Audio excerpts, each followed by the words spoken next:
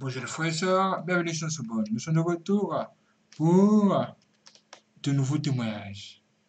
Une jeune fille va nous expliquer comment elle a échappé à la main d'un agent du diable. Comment c'est passé? Écoutons son témoignage. En 2015-2016, je revenais du, du boulot.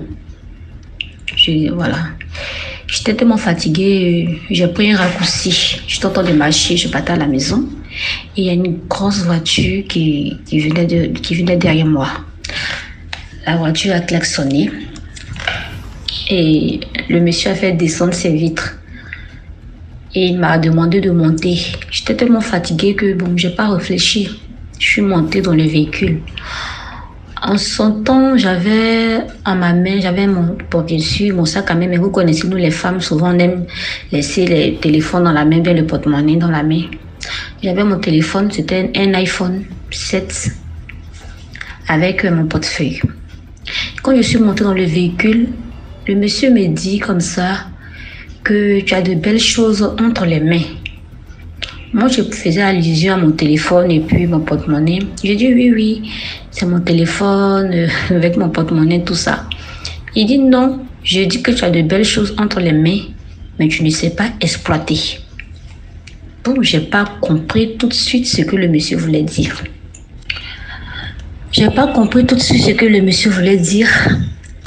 Et donc, euh, il est parti, il m'a descendu chez moi, devant mon immeuble. Et il m'a donné son numéro.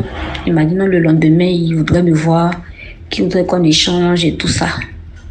Bon, comme j'aime aussi prendre le risque, j'ai accepté. J'ai dit ok, il n'y a pas de souci. Donc le lendemain, je suis allée au travail vers les 17 heures. Le monsieur est venu garer au même carrefour auquel il m'a pris. Il avait une pizza, mais il m'a appelé depuis Abidjan Mall. Il m'a demandé qu'est-ce que je voulais manger. J'ai dit je voulais manger une pizza royale. Et donc le monsieur a acheté la pizza et tout. Il est venu dire on va aller chez moi. Je dis d'accord. On va chez le monsieur. Arrivé chez le monsieur, euh, je vois euh, une maison. Il était au deuxième étage. Le monsieur était malien, très clair. Voilà. Arrivé chez lui, il, il me dit il va aller chauffer la pizza dans le micro-ondes. Que il va aller programmer tout ça de m'asseoir. J'étais assise dans le, dans le salon et il s'est dirigé à la cuisine pour aller chauffer la pizza. Après, il m'a appelé, il dit non de partir voir la pizza parce que la, le micro-ondes avait fini, c'était arrêté. Donc, il m'a dit de partir voir euh, tout ça. Donc, je, part, je partais dans le couloir, je vois, il y a une chambre. Le monsieur était en débardeur blanc avec une culotte blanche. Et il était assis sur son lit. Il m'a demandé de rentrer dans la chambre. J'ai dit non, que je ne peux pas rentrer. Il m'a dit de venir. J'ai dit non, je ne peux pas partir. Donc je suis allée dans la cuisine, je suis allée prendre la pizza, je suis venue au salon. Et il m'a trouvé au salon, on a mangé tout et tout. Et il me dit que je t'ai dit hier que tu avais de belles choses entre les mains que tu ne savais pas utiliser. Si tu veux, tu me les donnes. En retour, moi, je vais te donner tout ce que tu veux. Mais la seule chose que je te demande est que tu viennes me faire à tout. Je ne veux pas te forcer, je ne veux pas te brutaliser. Je veux que tu viennes de par toi-même me faire à tout. Il dit, ah, comment ça? Il dit, tu viens, tu me fais à tout. Et puis tout ce que tu veux, si c'est maison, voiture, l'argent, je vais te donner. Je lui ai dit que je ne peux pas. Il était là, il était arrêté quand une minute comme ça, il me regardait. Je lui ai dit que je peux pas, que moi je vais rentrer à la maison. Il était un peu découragé et tout ça. Donc, il dit d'accord, il va me raccompagner. Donc, il me demande de passer devant. Je passe, j'étais devant lui, il était derrière moi. Et j'entends des bruits dans mon dos. Genre comme si incantation faisait les trucs, des bruits comme ça. Hmm. J'ai eu froid dans le dos. Et puis je me suis arrêtée au mur. Il me demande il y a quoi? Il dit non, je veux que passer devant vous-même. On va partir. J'étais un peu hésitante. Il a demandé non, de passer devant. Que moi je ne veux pas. Et voilà. Donc il est passé devant, il a ouvert la porte et il m'a donné euh, 5000 francs. Il dit tiens, c'est pour ton transport, mais je t'appelle demain. Réfléchis bien. Demain, je t'appelle. Et puis voilà. Et je suis partie à la maison. Le lendemain, à la même heure, j'étais au carrefour. Mon portable était à 99% DMG. Quand le monsieur a lancé mon numéro, j'ai vu sur l'écran son nom. Dès que je voulais décrocher, mon portable s'est éteint. mon portable s'est éteint. Jusqu'à l'heure là, je n'ai plus les nouvelles du monsieur. Donc je me suis dit comme ça, peut-être que si je partais pour la deuxième fois chez lui, peut-être qu'il allait me, me, tuer, bien voilà, un truc comme ça. Voilà, c'était juste moi. Incroyable, incroyable. Vous avez entendu cela? Dites-moi ce que vous vous en pensez aussi. Bienvenue dans le coup encore le témoignage, c'est parti. Je vais raconter une histoire qui m'a été dite par une maman de l'église. Et vous savez, lorsque je viens rendre, je vais raconter une histoire qui est vraie, mais en même temps il y a l'exhortation parce que moi je connais Jésus-Christ et je sais combien de fois il agit dans la vie des gens, combien de fois il protège les gens et combien de fois par lui la guérison, la délivrance vient. Et cette histoire, c'est une maman avec qui nous fréquentons le même, le même bâtiment plutôt et qui nous a raconté vraiment cette histoire. Donc euh, il s'agit de deux personnes, deux jeunes gens, une jeune fille avec un jeune homme, voilà, mais qui, qui, qui vous connaissez un peu le Goïga là. Donc voilà. Mais le jeune, il avait une ambition. Son ambition là, c'est l'argent qu'il veut. Voilà, parce que il veut avoir l'argent. Parce qu'il fréquente un bon île là. donc son bon île, ils ont l'argent. Donc lui, il y a la frustration qui est là. Et donc il va, il veut frapper fort, il veut être au-dessus, voilà, il veut qu'on dise, eh, pas rien. Donc c'est lui qui veut être là. Donc euh, voilà que par des conseils de méchanceté, il a recours à un féticheur, un marabout, et il s'en parlait de son histoire. Et le marabout féticheur lui dit qu'il n'y a pas de problème. Et donc il fait ce que le marabout lui demande. Et le marabout lui dit, bon, tu vois ta camarade là, tu vas te mettre quelque part. Et tu vas l'appeler au téléphone. Et qu'elle va arriver dans le lieu, tu vas crier son nom, tu vas l'appeler. Quand elle va répondre là, tu vas voir la suite. Il dit ok, il n'y a pas de souci, donc il est content. Et donc il appelle sa camarade. Sa camarade, je vais donner le nom de de, de, de Mimi. Voilà, Mimi. Donc il appelle Mimi. Et puis il dit à Mimi de, de venir pour me trouver à tel endroit, puisqu'elle connaît l'endroit. Donc elle prend le véhicule et rend à cet endroit. Donc dès qu'elle arrive à l'endroit, son ami là, il est caché, mais il la voit. Mais bien avant de partir, puisqu'elle ne savait pas pourquoi elle partait, mais c'est son ami, donc il y a une totale confiance parce qu'ils font tout ensemble.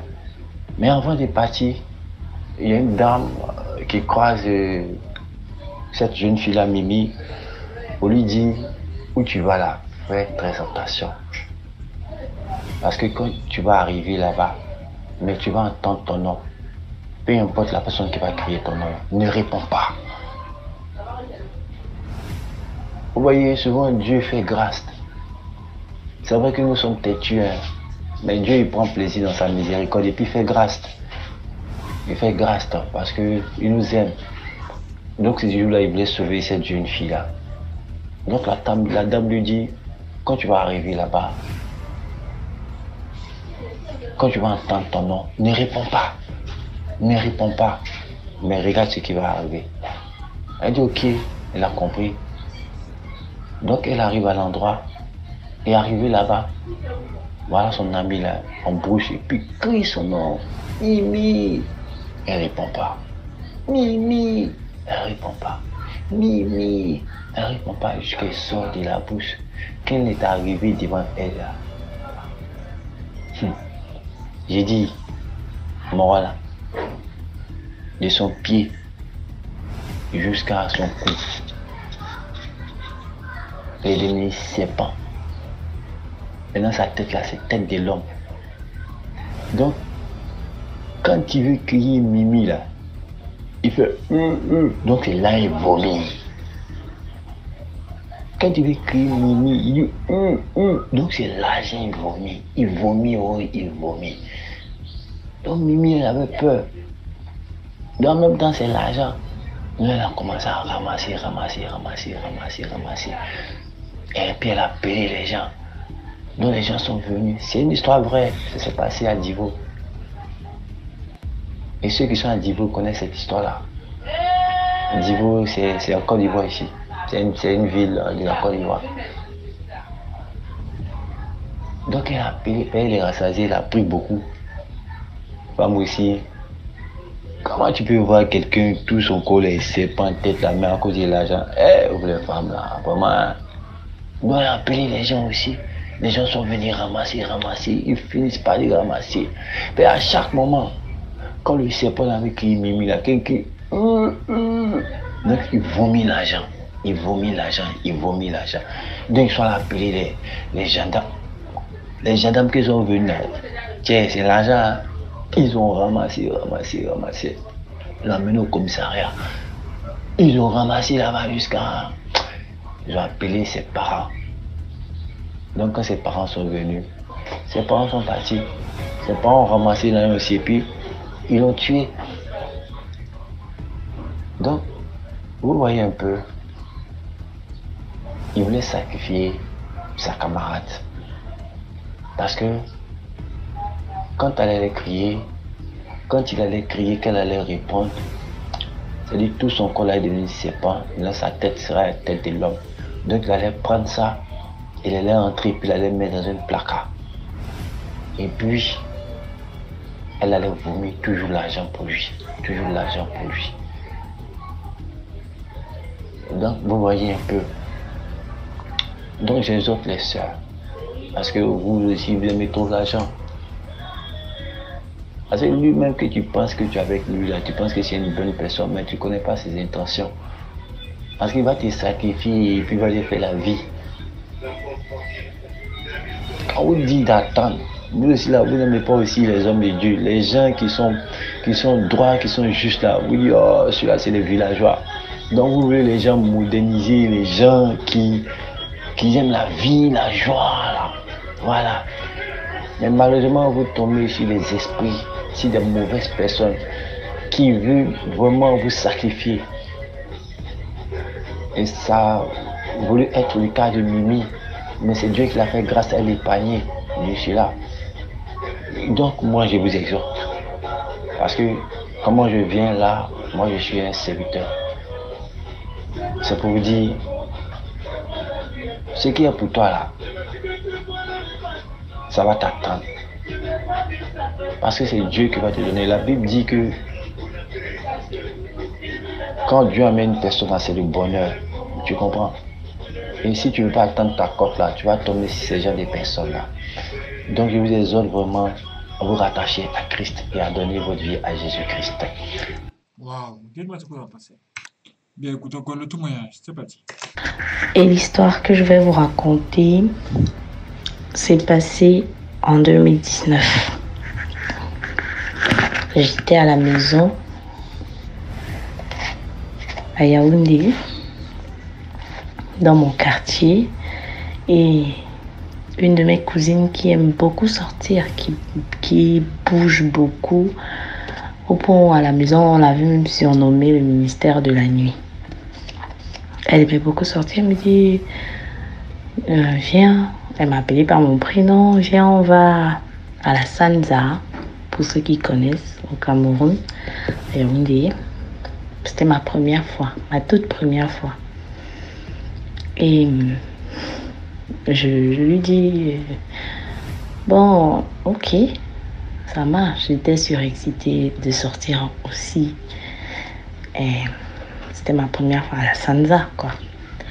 Je lui demande comment je dois m'habiller. Elle m'a donné des vêtements vraiment extravagants.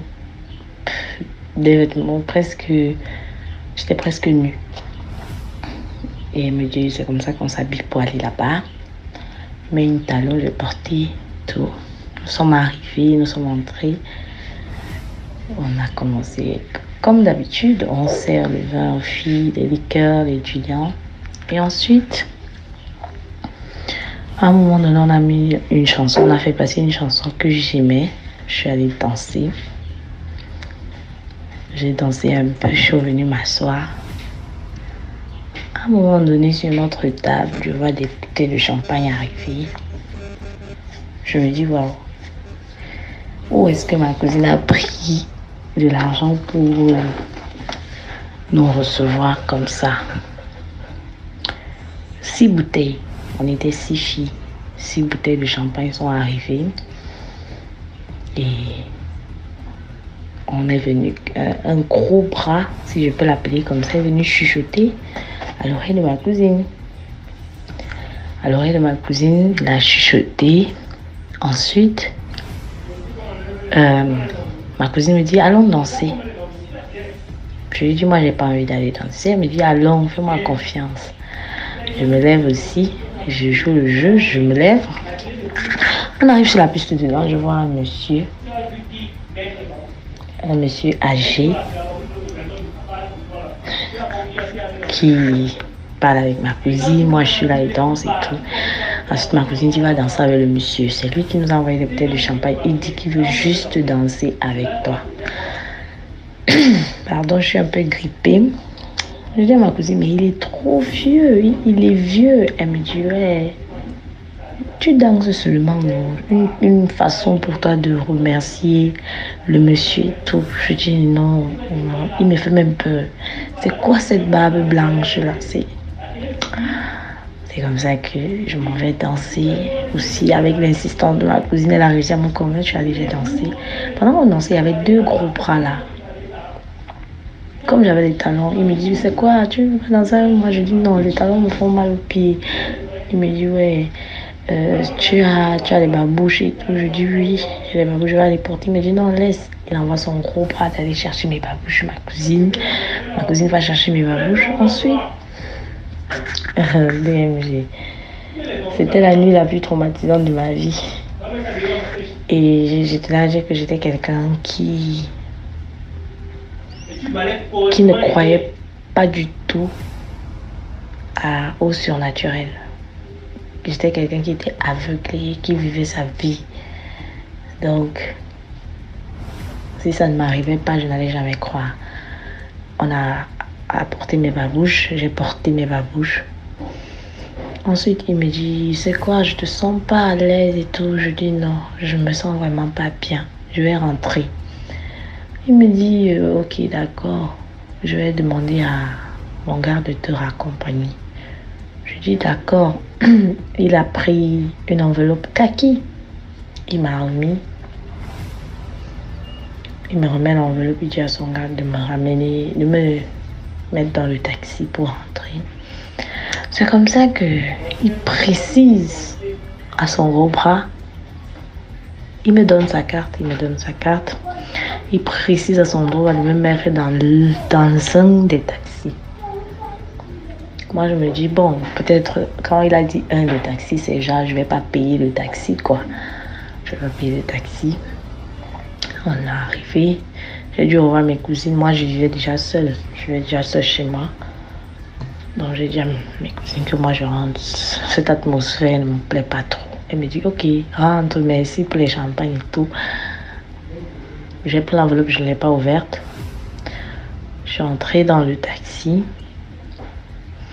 Je me suis assise. Lorsque tu entres dans le taxi, du côté gauche, quand tu entres, tu t'assieds juste là. Tu... Il a fermé la portière, il a dit au chauffeur, dépose la demoiselle chez elle. Tu sais quoi faire. Quand il dit ça, je me dis, oh, ça doit être un monsieur qui, je sais pas, qui a une agence de taxi. Je ne savais pas ce qui m'attendait.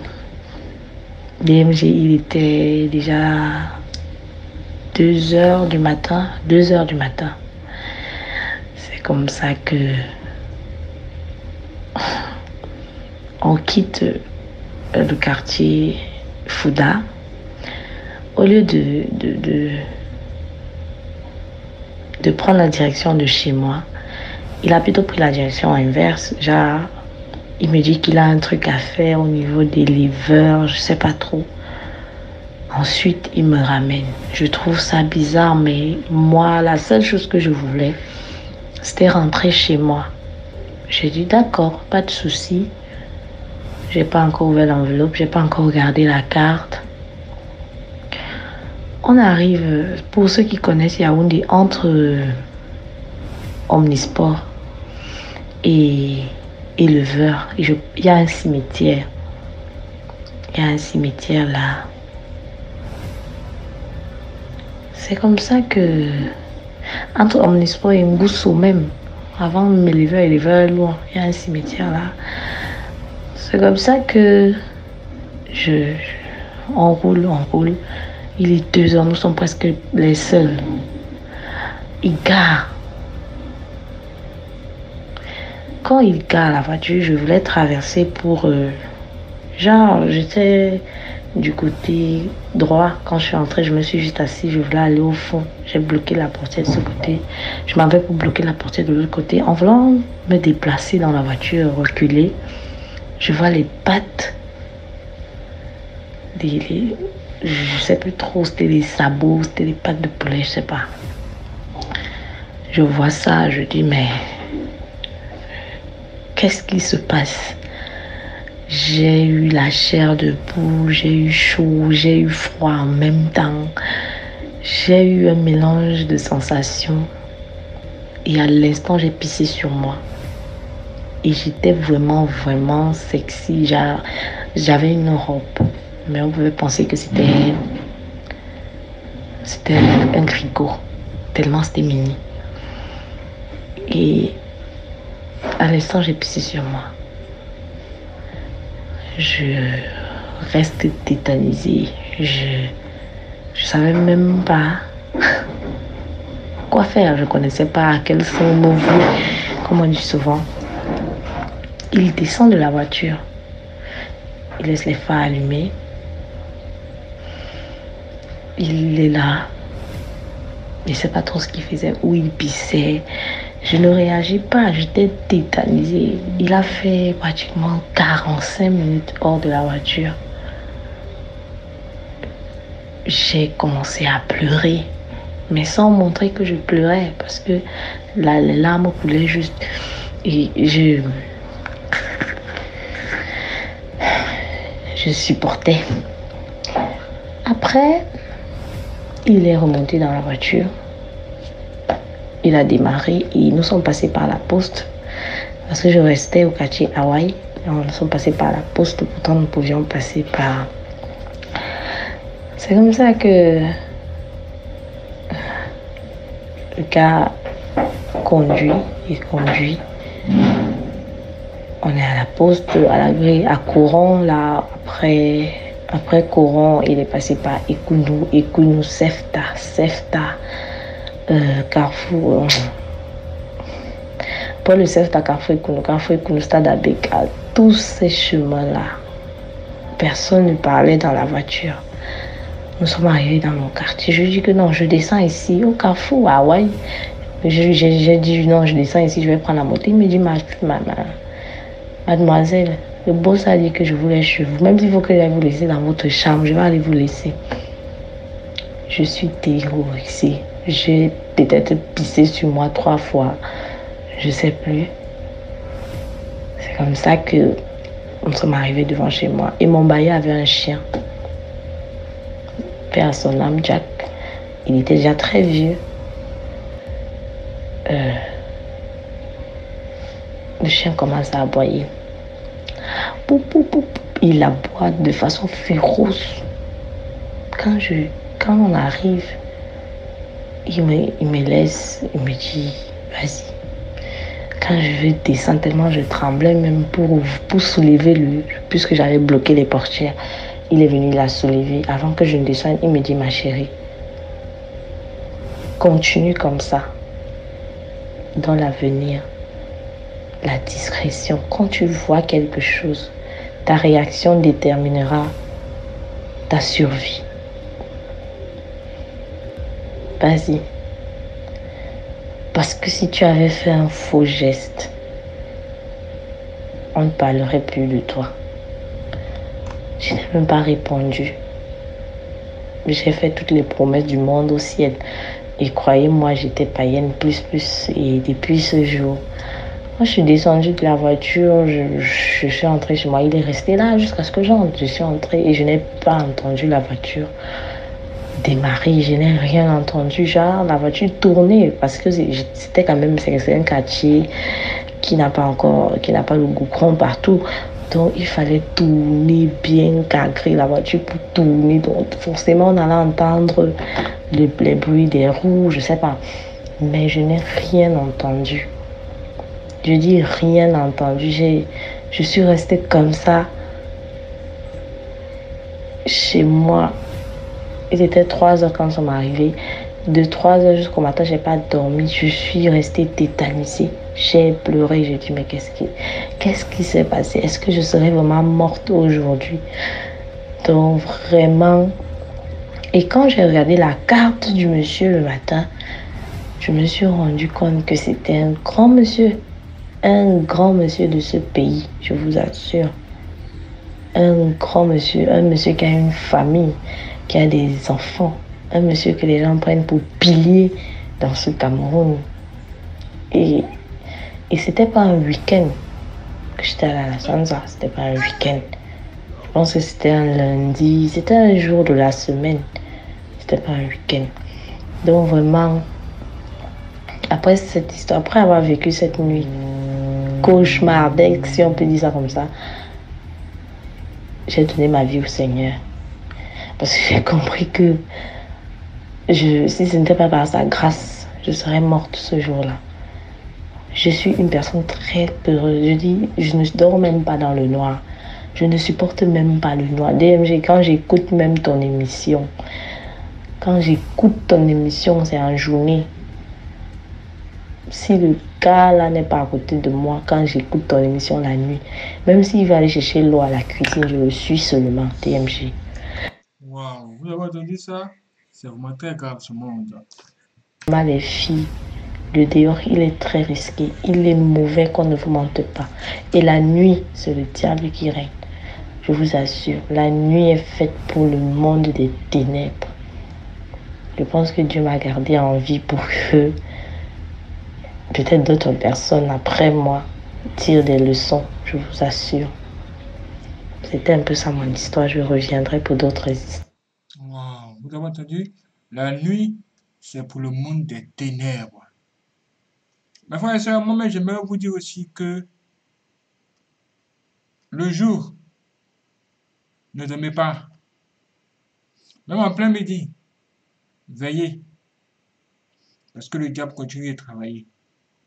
Il cherche toujours les voies et moyens de détruire, détruire la vie des gens. Ha! Donc l'histoire que je vais vous raconter, euh, c'est l'histoire d'une amie. C'était une jeune fille brillante, pas très brillante dans les études. Elle faisait vraiment des études normales, des moyennes normales. Mais elle avait un truc. Elle attirait les gens. Elle avait ce truc où elle attirait les gens. Elle attirait vraiment les gens, surtout la gente masculine. Elle attirait toujours les, les, les, les hommes. Les, elle avait ce truc où, euh, voilà, dans, le, dans un groupe d'amis, c'est ça, c'est elle, ce genre de personnes. Où qui sont souvent, voilà, parmi tant, c'est la personne là qu'on va voir. Donc c'est comme ça qu'elle était. Elle rencontre son petit ami qui devient son premier amour. Mais lui, il étudiait dans une autre province. Donc, c'est les vacances où les deux étaient ensemble. Bernard année scolaire, il y avait une pseudo-amour à distance parce que voilà, C'était dans une autre province et elle, elle était à la capitale. Maintenant, une fois, euh, elle décide d'aller le rejoindre, comme elle, euh, elle n'avait pas... Lui, il était, lui, était déjà à l'université. Elle aussi, je, je crois, oui, elle aussi était déjà à l'université. Elle décide d'aller le rejoindre à la province en question où lui il avait cours, il avait encore ses examens. Comme leur université, voilà, les universités publiques, il y a souvent les grèves, donc les, les- le programme scolaire tirait en longueur. Donc elle est allée là-bas, mais lui il avait cours, il préparait ses examens et tout, et tout. Elle avait décidé de faire une semaine, je crois. Voilà comment elle dit non. Euh, et lui, au lieu de vivre au campus, il, il avait un cousin à lui qui était affecté dans cette province. Donc son cousin était euh, quand même bien placé, logé. Voilà, l'État l'avait logé dans un joli truc et tout. Donc lui, il avait la possibilité d'aller rester chez son cousin que de rester au campus où la vie est un peu dure. Donc quand la, la, la, la, euh, fille va là-bas, on va l'appeler Sissi. Quand Sissi va là-bas, donc elle va naturellement se loger chez le cousin. Elle fait la rencontre du cousin, donc elle est là dans la maison. Donc voilà, lui il va travailler le matin, il rentre le soir, normal. Donc le, copain aussi, il va à l'université le matin, il rentre le soir. Donc elle était là à la maison, voilà, dans une province qu'elle ne connaît pas, mais elle était là tranquille et tout. Le week-end, il s'est baladé, il visitait la ville. Après, euh, au bout de trois jours, quatre jours, il lui dit non, en fait, son cousin est bizarre. Elle lui dit, bizarre comment moi je le trouve sympa? Il dit non, il est bizarre. Moi je vois pourquoi je ne veux. Heureusement que tu es là, sinon ça fait un moment, moi je ne dors même plus trop ici. Euh, il fait des trucs bizarres. Je, ne le sens pas. Comment ça tu ne le sens pas? Je ne peux pas t'expliquer, c'est- un truc, je ne sais pas comment te dire ça. Laisse ça comme ça. Elle tique, elle ah c'est quoi Mais pourtant, moi, je le trouve, lui, là, il est normal, il est dans son coin. Bon, elle a zappé, elle s'est dit, bof. Voilà, les, quand deux hommes restent dans la maison, c'est pas souvent comme quand c'est deux femmes. Des femmes, euh, on va faire le, le, le congosa, les trucs comme ça et tout. Donc, les hommes, parfois, c'est un peu froid. Donc, elle s'est dit, bon, peut-être c'est dans ce sens et tout. Vu qu'ils n'ont pas le même âge. Elle rentre, finalement, le séjour fini, elle revient à la capitale, voilà, elle raconte un peu et tout, et tout, et tout. Quelques jours après, il appelle. Elle dit c'est comment? Il dit ça ne va pas. Il était au campus pour aller travailler. Il s'est assoupi là-bas au campus et tout. Il se réveille genre 18h comme ça, 18h, 19h. Il n'y a personne. Il est seul dans la, la chambre du campus. Il n'y a personne. Mais il entend un bruit bizarre qui vient de sous le lit. Quand il regarde euh, sous son lit, il voit un serpent enroulé sur lui-même. Il l'a sursauté. Il appelle les autres. Quand ils sont venus, il n'y avait plus le serpent. Puis ils ont dit, ah, peut-être que le serpent a fui. Oh, Ils ont comme ça un peu à fuir. Ah, vérifions, on ne sait jamais et tout et tout. Ah, peut-être que le serpent a fui par la fenêtre et tout. Ils ont zappé. Il dit depuis un moment, il ne fait que des cauchemars bizarres. Il sent que c'est son cousin. Il sent que son cousin est en train de faire des choses bizarres. Il, il se sent pas bien, il ne se sent pas bien. Dès que les, les examens vont finir, il rentre automatiquement. Elle lui a dit, ok, calme-toi, finis les examens. Il a dit non. Euh, il ne sait même pas s'il faut qu'il rentre à la maison chez son cousin ou qu'il continue à rester au campus. Il ne sait pas. Bref, les examens sont finis. Il est rentré. Il se plaignait, je ne me sens pas bien, oh je ne vois plus bien, j'ai mal aux yeux, nanana, c'est mon cousin. Donc elle, elle le soutenait. Elle, elle le soutenait et tout et tout. Donc elle venait me raconter ça que oui, son cousin l'en veut, quelque chose sur lui, lui, son cousin l'en veut et tout ça et tout. Ça n'allait plus. Son état s'aggravait. La vue, les yeux, tous les jours. J'ai mal aux yeux. Et lui, il était le benjamin de sa mère. Donc, c'était vraiment son fils chouchou préféré. Finalement, la fille se rappelle que une de ses tantes avait consulté un prêtre exorciste. Donc, elle va prendre les renseignements et dit Ah, voici le cas que j'ai avec euh, mon petit ami et tout et tout. Est-ce que tu peux pas me guider là où tu étais parti, toi aussi, des années auparavant? Donc, sa tante l'oriente vers l'exorciste en question. Elle va parler de ça à son copain et à sa belle-mère. Que voilà, euh, ma tante avait vécu un truc, elle est passée là-bas. Est-ce qu'on peut pas aller voir aussi Il y a Et voilà qu'ils sont partis tous les trois. Donc, il y avait la mère, le copain et Sissi. Ils sont maintenant allés. Et lui, il procède comme sous forme d'une consultation. Il vous paye la consultation, il vous fait une forme d'ordonnance aussi. Tout ça. Il y a une forme d'ordonnance qui va faire sur une feuille blanche ce qu'il faut acheter et tout. Donc c'était vraiment comme style consultation. Elle ne m'avait pas vraiment dit ce qu'il avait dit là-bas, mais de, du peu qu'elle avait pu me dire. Que lui, on lui a dit que son nom, il avait signé une feuille au campus. Il ne savait pas que la feuille qu'il avait signée, c'était les choses comme ça. Eux sont juste venus pour, pour eux étaient venus avec l'intention de, de- de rassembler le maximum de signatures. Donc les gens qui étaient naïfs, qui ne savaient pas exactement de quoi il s'agissait, ont signé en se, en se contentant de ce que le groupe de personnes là leur avait dit au campus. Donc ils ont signé et leur nom est sur cette feuille-là. Donc ce sont ces gens-là qui, jouent avec le- les esprits des gens. C'est comme des mini-sectes des étudiants. Donc euh, ils veulent, par exemple, ils jouent peut-être avec vos intelligences pour que eux ils aient la moyenne, les trucs comme ça. Ils ont parlé, il a commencé à parler aussi du cousin. Je ne sais plus trop ce qu'ils avaient dit sur le cousin, je ne sais plus trop. La mère aussi, elle, il a aussi vu pour la mère, apparemment il a parlé sur la mère.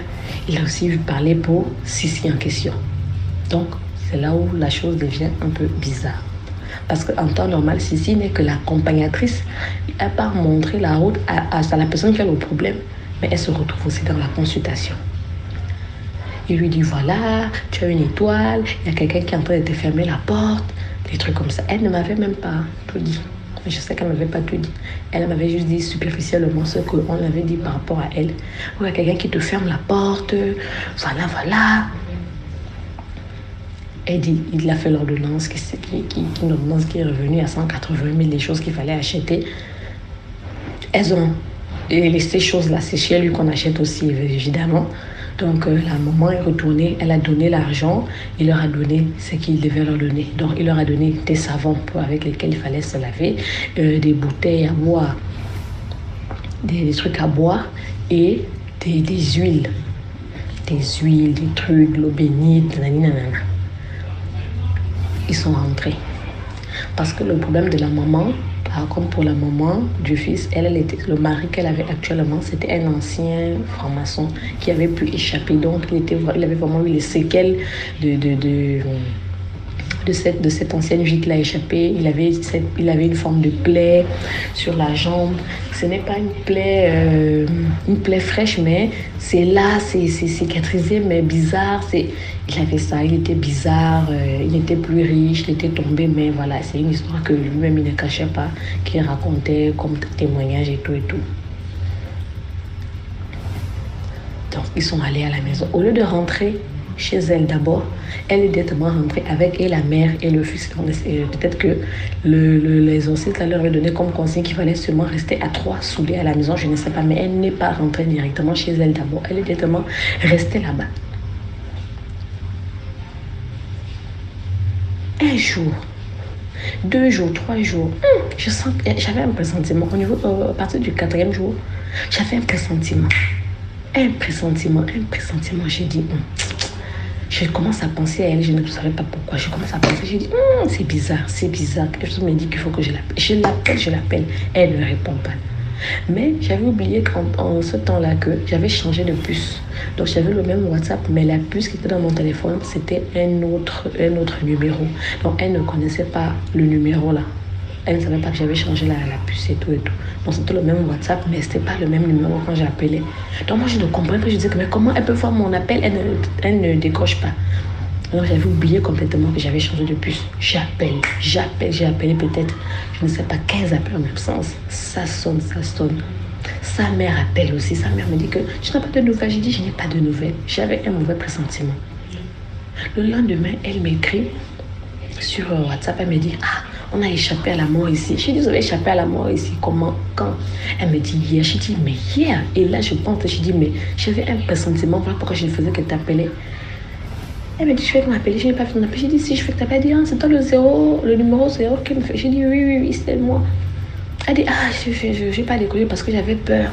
On pensait que c'était le cousin mon copain là qui appelait parce qu'il n'arrêtait pas de nous appeler. On ne comprenait pas pourquoi. Donc, depuis qu'ils avaient commencé le traitement du prêtre exorciste, là, le cousin ne faisait qu'appeler. Alors que de base, il n'était même pas si proche que ça. Mais dès qu'ils ont commencé le traitement, il ne faisait qu'appeler le copain en question. Appeler, appeler. Il appelait aussi la copine, vu qu'elle avait son numéro, apparemment, quand elle était partie en vacances là et tout. Par exemple, il appelait pour dire ferme la porte, je ne vais pas rentrer, les trucs comme ça. Donc, il avait pris son numéro là-bas quand elle était partie en séjour. Il ne faisait que les appeler, il ne décrochait plus. Peu importe le numéro qui, qui appelait, eux, ils ne décrochaient plus. Ils sont allés marcher un peu devant la porte, euh, genre en route, vraiment bordure de route et tout. Une voiture a failli les, les, les, les prendre. La route est vide. La route est vide, il n'y avait rien. Et heureusement qu'ils ont été vigilants, ils se sont genre écartés. Après, la voiture a fait comme si genre la voiture a failli. Après, la voiture a continué. Ils ont dit, oh, ça c'est quoi? Les voilà qui retournent à la maison en catastrophe. Ils racontent ça à leur mère. La mère dit, non, rentrons en prière. Les voilà à trois là-bas maintenant dans la prière, dans les, les huiles que le, le, le, le, les exorcistes avaient données. Elle me dit que les bouteilles qu'il leur avait données là, dès qu'ils dès qu dès qu buvaient ça, ça devait les faire vomir et aller à la selle. Elle dit ils vomissaient et les, les, c'était pas des, des vomissures euh, normales, tu vois, quand tu vomis, tu vois un peu la nourriture. Non, c'était juste de l'eau avec des, formes de petits trucs noirs dedans. Et ne comprenait pas. Ils, ils vomissaient, ils vomissaient. Ils ne restaient même plus au salon. Ils, faisaient, restaient maintenant au couloir pour être à côté de la douche seulement. Elle dit c'était incroyable. Dès, dès qu'ils font seulement 5 minutes, douleur au ventre, pas possible. Après, vomi, c'était à tour de rôle dans la maison, les trois. Quand elle est revenue au bout d'une semaine, elle l'avait noirci. Quand elle est rentrée, donc elle a fait au moins une semaine et quelques jours, donc presque deux semaines, elle l'avait noirci. Une fille très claire, presque genre de clair, que tu es comme une métisse là. Très claire jolie, teint clair, propre. Elle avait noirci, elle était devenue vraiment un marron, vraiment marron. Genre, quand tu la vois, quand tu la connais, tu sens directement que la fille a noirci. Tu sais comment? Elle m'avait raconté tout ça. J'ai dit, tiens Je vois, elle était maintenant entrée, tranquille et tout. Lui, il est resté, il a, commencé à dire que voilà, les yeux, ça va mieux, nanana. Bref. Il a obtenu son diplôme et tout ça là. Il était maintenant là un moment avec sa maman. Donc un jour, elle prend, la, elle prend sa douche. Je la vois, elle se loin. Elle me dit, ne touche jamais la bouteille là. Je dis, ah, je n'ai pas fait attention. Elle me dit, ne touche jamais la bouteille là. Ne frotte jamais l'huile là. Elle a commencé à frotter ça. Apparemment, le prêtre exorciste lui avait donné, je ne sais pas si c'est l'huile de chance ou l'huile de, de protection, je ne sais pas.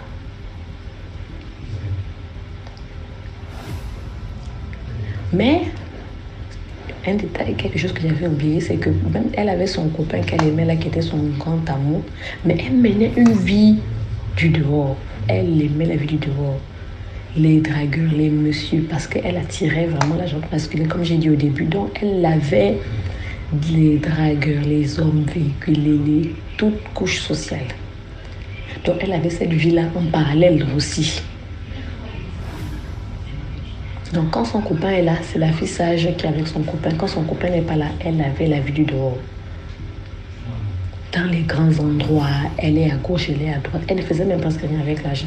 Quand vous savez, quand vous, avez, vous vivez chez les parents, vous ne pouvez pas faire des grandes choses avec l'argent. Parce que vos parents ont dit que c'est commandant. Elle achetait que les habits, des trucs comme ça. Les habits, les chaussures, les mèches. Donc ça, on va dire, bof, c'est rien. Mais elle ne peut pas faire des, des trucs palpables. Quelques, que, quelques temps après ça, au fur et à mesure, voilà comment elle tombe enceinte. Et entre-temps, elle, avait une relation à distance avec le fils d'un homme politique qui envoyait l'argent et tout ça. La mère n'avait pas dit qu'elle était finalement enceinte. C'est après que le, gars avait découvert qu'elle est enceinte. Il s'était énervé. C'est ça que tu m'as fait? Moi, je pensais que... Il est monté dans sa voiture, il est parti. Et la grossesse, quand elle est tombée enceinte, c'était un moment où elle et son copain en question là étaient sur le point de se séparer. Donc la grossesse a fait qu'elle doit revenir. Elle découvre la grossesse en plein, en mode, en plein gourmand, si je peux dire ça comme ça. Donc elle revient vers le gars pour dire voilà, enceinte et tout et tout et tout. Mais elle faisait un peu genre. Et comme il était affecté toujours euh, dans une autre province et tout pour une formation.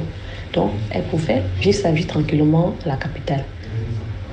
Elle a accouché et elle avait, euh, à l'époque, quand elle a accouché, elle avait le téléphone, un téléphone en vogue. C'est-à-dire, elle était toujours dans son, son, son mood de la fille qui a, qui a toujours le truc dernier cri, le téléphone dernier cri. Elle avait une belle grossesse, elle brillait. Elle a accouché, pas de souci. Ça a commencé maintenant, petit à petit.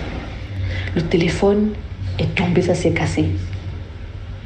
Oh, je ne peux plus manipuler mon téléphone, je ne peux plus manipuler mon téléphone et tout comme ça. Jusqu'à, ah, je n'ai plus de téléphone. Jusqu'à aujourd'hui, elle n'a plus jamais eu un vrai téléphone. Elle a commencé à tomber. Elle a commencé à devenir bizarre. Les amis qu'elle avait, ils ont commencé à se, se, se, se- se disputer. Se disputer. se- Et après, ils se, sont séparés avec tous ses amis. Les gens qu'elle a dragués, qu'elle appelait, il n'y avait plus personne. Elle était devenue bizarre. Elle avait des problèmes de gauche à droite. Elle a commencé à devenir ce qu'elle n'était pas avant. Avant, elle ne buvait pas.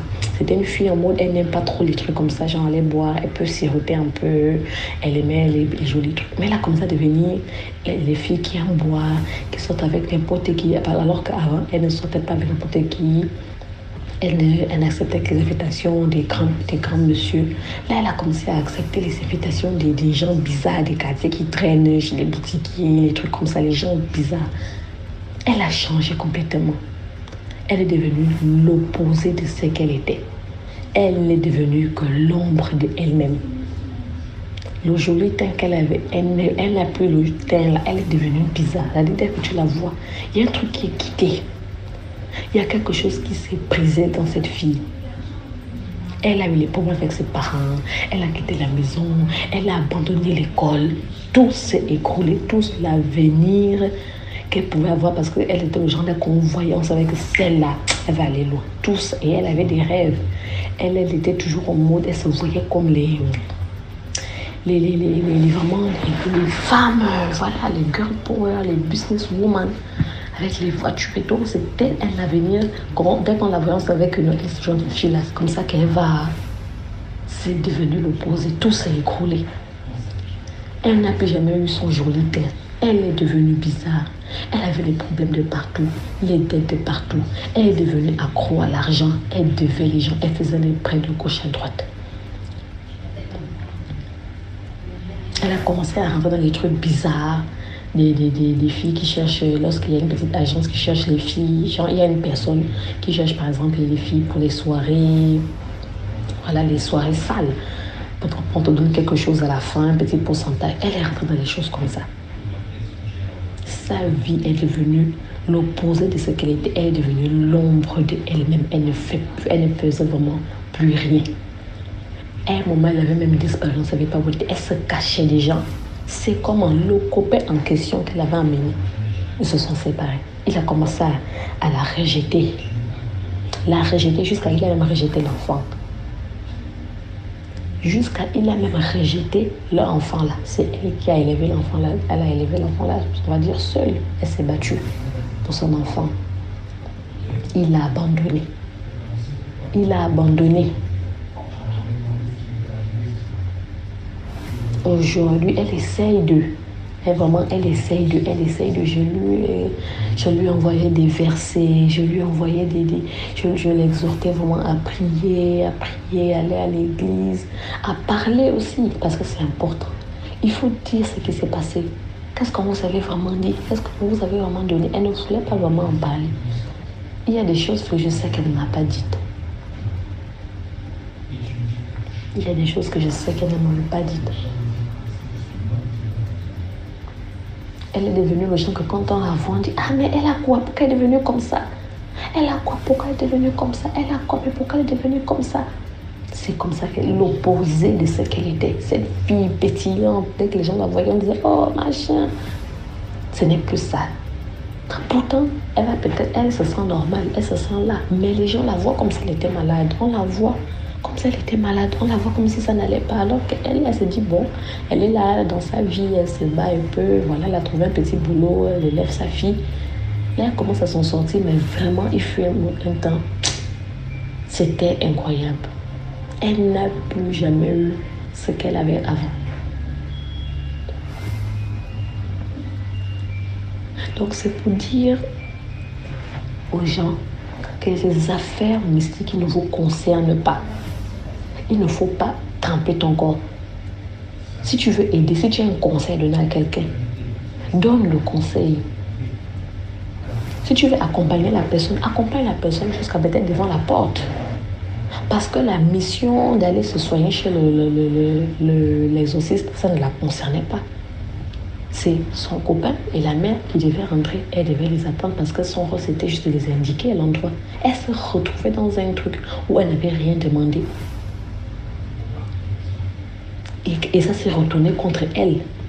Donc les gens même qu'elle allait aider aujourd'hui, ils ont tourné le dos. Eux, ils se sentent bien.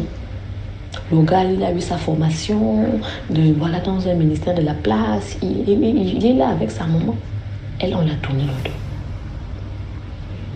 Les huiles qu'on lui avait demandé de frotter, on ne sait même pas exactement. Ça lui a donné la malchance au lieu de donner la chance ou la protection. Ça a mis sur elle la malchance, le vieillissement. Elle n'avait pas besoin de ça. C'est pour dire aux gens, vous n'avez pas besoin de ça. Quand vous allez bien, et puis quelqu'un vient, sort de nulle part, vous dit, j'ai une vision sur ta vie. Je sens quelque chose qui arrive. Viens, viens, viens consulter ou bien viens machin. Il ne faut jamais avoir peur. C'est Dieu qui vous protège. Si rien ne vous est encore arrivé, il ne faut pas chercher. Il ne faut pas aller chercher. Il faut demeurer dans la prière quotidienne. C'est comme ça que Dieu va faire. Dieu va se battre pour nous. C'est comme ça que Dieu va nous aider. Tu n'as rien. Tu te retrouves dans une consultation que tu, tu ne connais même pas, tu n'as aucun problème, tu es juste venu accompagner quelqu'un, tu te retrouves dans une consultation. Il y a beaucoup de gens qui se sont retrouvés avec les malchances à la place des autres, parce qu'ils sont allés accompagner les autres dans les, dans les réunions bizarres, dans les choses bizarres. Il y a des, des- amis qui sont retrouvés avec des problèmes sur le corps parce qu'ils ont accompagné leurs amis chez les marabouts. Quelque chose s'est passé là-bas, c'est elle qu'on a appris. Il y, a des, il y a tellement de choses. Il y a des gens qui ont accompagné leurs amis dans des églises. Oh, il y a la délivrance de tel. Tu as quoi pour te faire délivrer? Tu as, tu as suivi ton ami naïvement. Tu as fait confiance à, à ton ami. On allait te prendre quelque chose dans ta vie. Faites très attention avec ces choses quand, vous ne, quand- ne maîtrisez pas un domaine. Et elle aurait dû se renseigner vraiment chez la tante. Parce que c'était même pas sa tante qui avait consulté. Sa tante connaissait juste la personne. Mais c'est pas. Sa, sa tante n'avait pas vraiment consulté. Donc, normalement, avant d'aller là elle devait d'abord se renseigner chez la personne qui avait déjà consulté. Elle est devenue l'ombre d'elle-même aujourd'hui. L'ombre. Et c'est peu de le dire. Donc faites très attention avec les, avec le domaine obscur, occulte, les, les- trucs mystiques, euh, spirituels, le spiritisme, là, les voyances. Quand vous n'avez rien, n'avez pas de problème, restez tranquille. Ce n'est l'oncle, l'oncle de l'autre le poursuit. Toi, on te donne les bidons à boire. Pourquoi? On te donne les savons de te laver. Pourquoi? Elle pouvait faire les, les- les- navettes, le, aller le soigner de temps en temps, voir s'il va bien. Mais elle n'avait pas à, suivre le traitement avec eux. Je n'ai jamais compris ça. Et je lui avais dit. Donc, des fois, j'essaie vraiment de parler avec elle, vraiment pour voir si vraiment ça va. Mais elle commence, elle commence à se relever, elle commence un peu à. On sent qui est en train de revenir, mais vraiment, c'est un peu difficile parce que quand quelque chose a été brisé et que ça se sent, c'est souvent difficile. C'est souvent vraiment difficile de, se relever, surtout quand tu ne sais pas, parce qu'elle elle ne sait pas. Elle ne sait pas, elle n'avait rien à demander, elle n'avait rien à consulter. On lui a pris son étoile comme ça. Donc faites très attention. Seigneur Jésus, faites vraiment très attention.